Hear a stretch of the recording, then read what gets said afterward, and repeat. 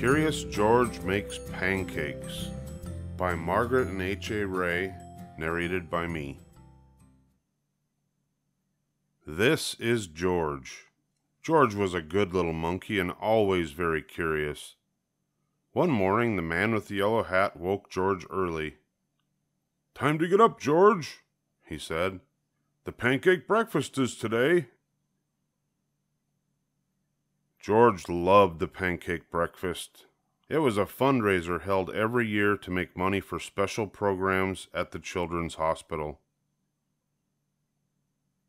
Besides eating pancakes, there were all kinds of games to play. Even the mayor came to play and eat, but first he gave a welcome speech. Thank you all for coming, the mayor said. We appreciate your generous support. He thanked all the volunteers who were helping that day, and finally he said, Please enjoy yourselves.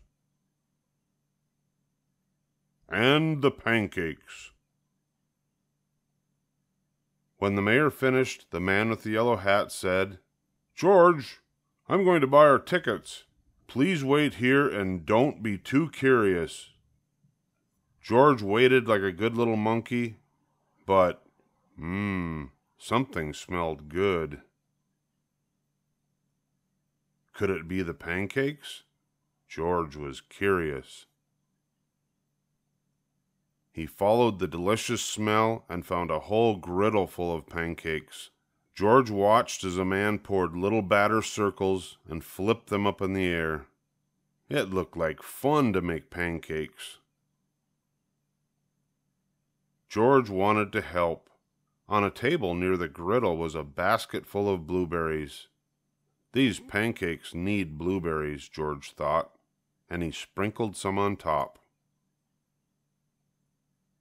Meanwhile, the man at the griddle was so busy he didn't notice the little monkey helping him, but the line grew and grew.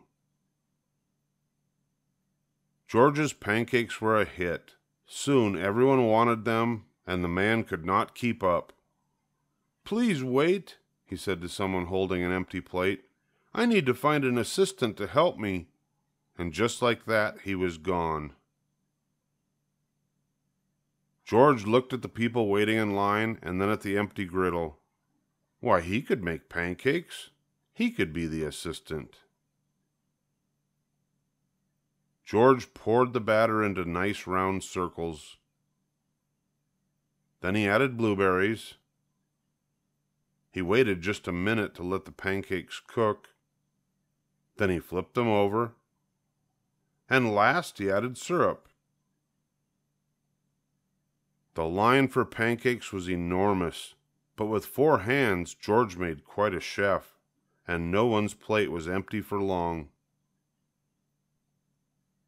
I've been coming to this breakfast for years, a man said, but I've never seen pancakes made like this before.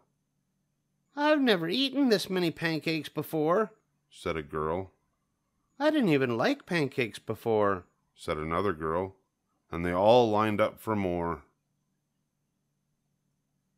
When the man returned with his new assistant, he was shocked to see a monkey making pancakes. This is no place for a monkey, he yelled and began to chase George. George hadn't meant to cause trouble. He only wanted to help. Now he only wanted to get away. Quickly, George found a place to hide, and the man and his assistant ran right by. But where did George go?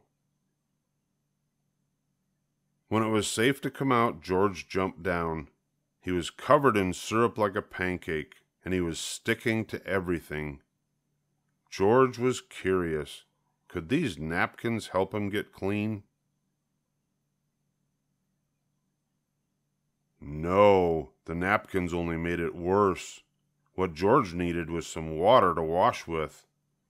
Why, here was the perfect thing. George climbed up.